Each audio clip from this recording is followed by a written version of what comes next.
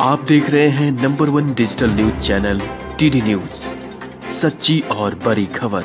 नमस्कार, TD news के breaking में इस वक्त की बड़ी खबर। जापान के पूर्व प्रधानमंत्री सिंजे अबे की गोली मारकर हत्या कर दी गई है। जी हाँ सिंजे अबे के गोली मारकर हत्या कर दी गई है। देखिए इस वीडियो में कि किस तरह सिंजे अबे के पूर्व प्रधानमंत्री है जापान के, उनकी हत्या कर दी गई गोली मारकर।